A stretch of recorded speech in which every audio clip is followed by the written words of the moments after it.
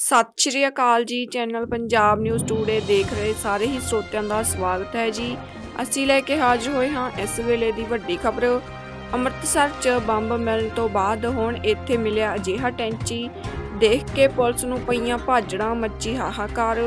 ਖਬਰ ਸ਼ੁਰੂ ਕਰਨ ਤੋਂ ਪਹਿਲਾਂ ਬੇਨਤੀ ਕਰਦੇ ਹਾਂ, ਜਿਨ੍ਹਾਂ ਸਰੋਤਿਆਂ ਨੇ ਹਜੇ ਤੱਕ ਸਾਡੇ ਚੈਨਲ ਨੂੰ ਸਬਸਕ੍ਰਾਈਬ ਨਹੀਂ ਕੀਤਾ, ਸਬਸਕ੍ਰਾਈਬ ਕਰ ਲਓ ਜੀ, ਤਾਂ ਜੋ ਹਰ ਵੱਡੀ ਖਬਰ ਤੁਹਾਨੂੰ ਸਮੇਂ-ਸਮੇਂ ਤੇ ਮਿਲਦੀ ਰਹੇ।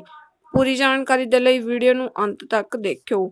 ਅੰਮ੍ਰਿਤਸਰ ਦੀ ਗ੍ਰੀਨ ਐਵਨਿਊ ਕਲੋਨੀ 'ਚ ਸ਼ੁੱਕਰਵਾਰ ਦੀ ਸਵੇਰੇ ਬੰਬ ਮਿਲਣ ਦੇ ਬਾਅਦ ਬਠਿੰਡਾ 'ਚ ਵੀ ਦੇਰ ਸ਼ਾਮ ਨੂੰ ਜੀਟੀ ਰੋਡ ਸਥਿਤ ਨਿਰੰਕਾਰੀ ਭਵਨ ਦੇ ਬਾਹਰ ਲਾਵਾਰਸ ਹਾਲਤ 'ਚ ਇੱਕ ਕਾਲੇ ਰੰਗ ਦਾ ਅਟੈਂਚੀ ਬਰਾਮਦ ਹੋਇਆ ਹੈ। ਹਾਲਾਂਕਿ 15 ਅਗਸਤ ਦੇ ਮੱਦੇਨਜ਼ਰ ਪੰਜਾਬ ਪਹਿਲਾਂ ਹੀ ਹਾਈ ਅਲਰਟ ਤੇ ਹੈ। ਉੱਥੇ ਹੀ ਲਾਵਾਰਸ ਹਾਲਤ ਵਿੱਚ ਅਟੈਂਚੀ ਮਿਲਣ ਦੇ ਬਾਅਦ ਬੰਬ ਸਕੁਆਡ ਦੀ ਟੀਮ ਨੇ, ਦੇ ਨਾਲ ਪੁਲਿਸ ਟੀਮ ਮੌਕੇ ਤੇ ਪਹੁੰਚ ਗਈ। ਪੁਲਿਸ ਵੱਲੋਂ ਇਲਾਕੇ ਨੂੰ ਸੀਲ ਕਰ ਦਿੱਤਾ ਗਿਆ ਹੈ। ਅਟੈਂਚੀ ਦੀ ਹੁਣ ਜਾਂਚ ਕੀਤੀ ਜਾ ਰਹੀ ਹੈ।